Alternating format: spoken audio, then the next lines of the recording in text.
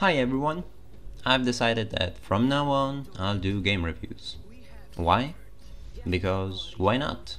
Also, I want to share my favorite games with the world so that you may enjoy them too.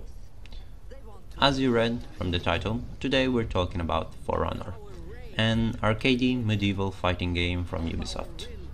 I'm starting with this game out of all the ones I want to review because there's an update coming the 9th of September so I figured I'd try to get more people into this great game at the best time possible.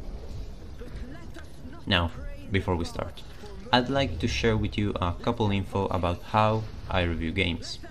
I take into consideration three major aspects, those being gameplay, lore and design, and divide them into smaller arguments as you can see on the screen. To each argument I give a vote from 0 to 10 and then I make a mathematical average for everything, resulting in the final vote. Alright, let's start this review of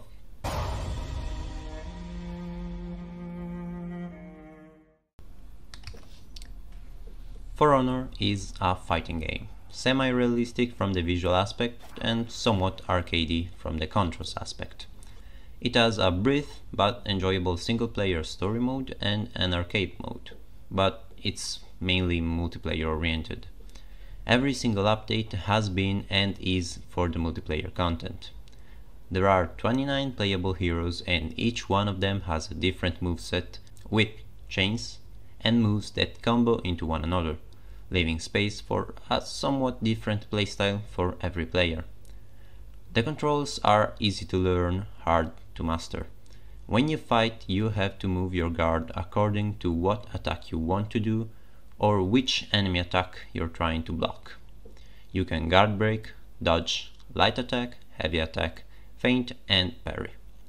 There are some other options, but these are the basis. The game offers excellent tutorials and even guides for every single hero's combos. Again, easy to learn, hard to master. The high complexity of the gameplay comes from the huge number of heroes and their different movesets, the various maps and different game modes and, of course, the multiplayer factor. Facing a Lawbringer is completely different from facing a Highlander or an Orochi, and so on. This, multiplied by the fact that every single player has his own style, makes the variables even higher, offering seemingly endless possibilities and making the replayability skyrocket. The fun in For Honor mostly comes from the feeling of completely destroying someone else, clutching a 1v4, or simply defeating that one guy that killed you 5 times in a row. But another important factor, besides the fashion part, we'll get to that, is the feeling of progress. When you start out with a new hero, you get your ass handed over to you by almost anyone.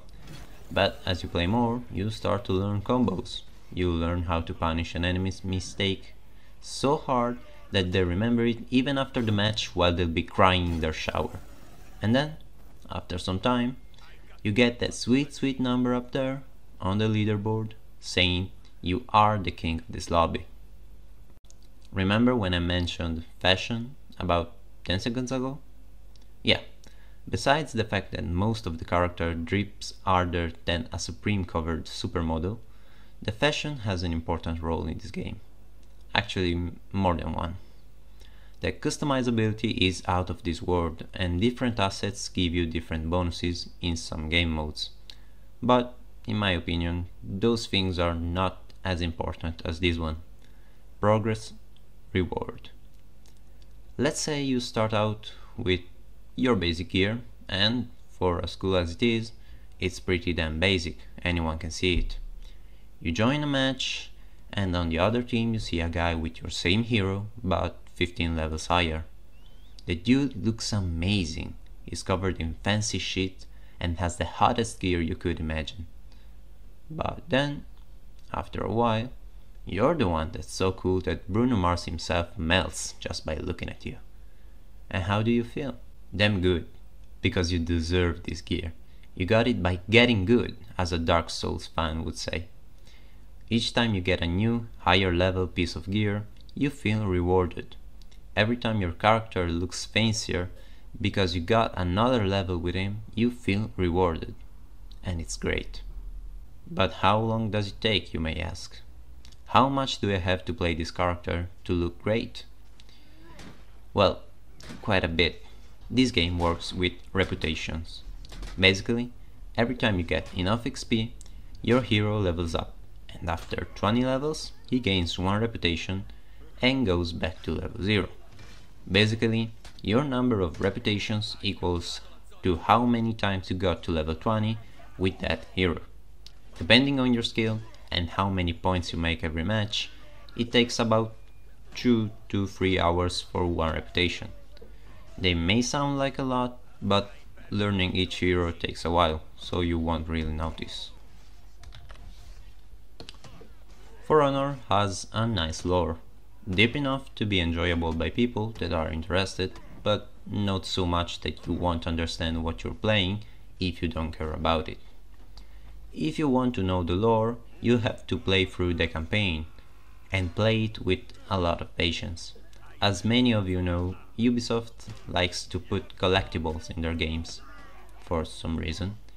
They like to hide them in the most bullshit places they can think and for some reason they decided to put interesting parts of the lore inside these collectibles. Scattered around the map there are these little eyes called observables that upon activation will start an audio file of some narration. Don't get me wrong, the campaign itself tells you most of the lore, but these observables tell you the spicy things. So get ready for quite an amount of hours to find them. Or you could simply open YouTube and watch a walkthrough, since you'll have to open it anyways because the trailers for past events and updates contain a lot of lore and you can't see them from the game. Is it interesting? Yes, is it deep? Kinda.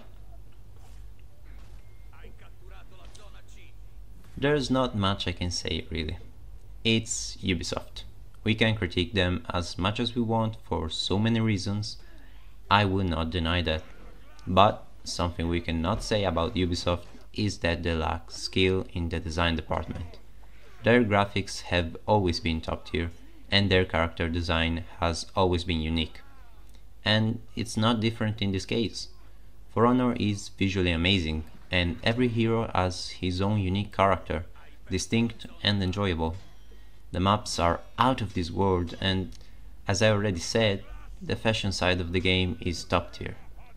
Despite being a 2016 game, it's still way prettier than most up-to-date games. So, this is what I think about For Honor. It is a great game and you should definitely play it. But you have to make an effort to like it because you have to learn at least one hero to play this game because otherwise you'll just get stomped over and over and that's not fun. Uh, is it worth it if you buy it just for the campaign? No, not at all. Just don't do that. If you want to buy this do it for the multiplayer. So the end vote is a 7.5 which you might say it's not that high. Well it's not that low either. 10 is perfection. A 10 means there is no way of improvement. So 7.5 is pretty damn high and hey, if you do want to get this game, use my code. I will get probably some steel to buy some skins and execution and nothing more. And it costs you nothing. Also, also, if you want and you are on PC, hit me up and we could play together sometime. See you guys.